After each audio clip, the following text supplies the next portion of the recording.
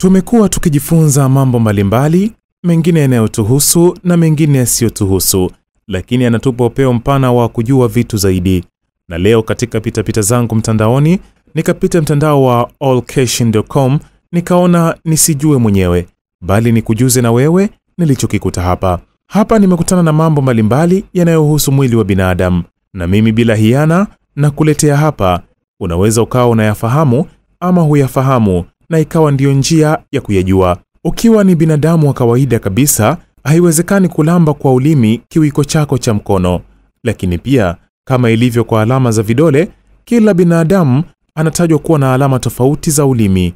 Lakini umeshawahi kujua kama moyo wa binadamu hudunda kwa mara laki moja kwa siku?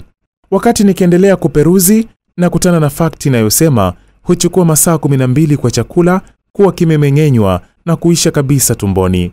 Nazidi kuambiwa kuwa hewa ambayo binadamu huitoa nje kwa kupiga chafya husafiri kwa spidi ya mita 100 kwa saa.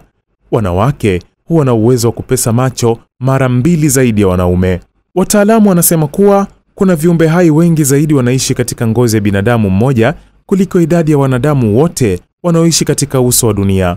Wataalamu hao wanaendelea kutujuza ya kuwa watoto wadogo huwa hawazaliwi na vifuniko kwenye magoti, vile ambavyo ukishika goti lako vinakuwa kwa juu na kigumu kama kifuniko, na huanza kutengenezwa kwenye mwili wa mtoto akifika umri wa miezi miwili mpaka sita. Tunaendelea kuambiwa kuwa wanaume ni wazuri sana kwenye kusoma vitu vilivyochapishwa kwa maandishi madogo kuliko wanawake, lakini wanawake huwa makini kwenye kusikiliza kuliko wanaume. Tunaambiwa ya kuwa ukivaa headphones kwa lisali moja unaongeza bakteria wa masikio kwa mara mia saba zaidi. Je, umeshawahi kujua ya kuwa ukipiga chafya kwa nguvu sana unaweza kuvunja mbavu? Lakini pia umeshawahi kujua ya kuwa ukijaribu kuizuia chafya unaweza kupasua mishipa ya damu ya kwenye kichwa na shingo na kusababisha kifo, na ukilazimisha kufumbua macho kwa nguvu yanaweza kutoka kwenye fremu yake. Watafiti wanatuambia wastani wa mtu kuanza kusinzia mpaka kulala ni dakika saba. Tunaambiwa pia binadamu huzaliwa akiwa na ukubwa wa macho yale yale anayokuwa nayo, lakini pua na masikio huendelea kukua kadiri ya umbo lake.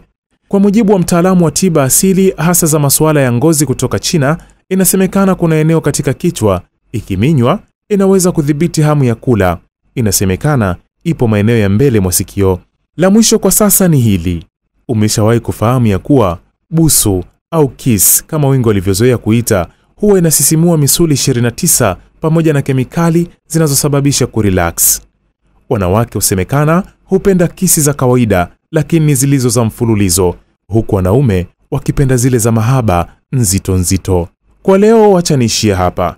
Aliyeokota kaokota, na mwenye kujaribu alichosikia kila la heri, ingawa najua wengi wenu mtajaribu kulamba viwiko vyenu vya mkono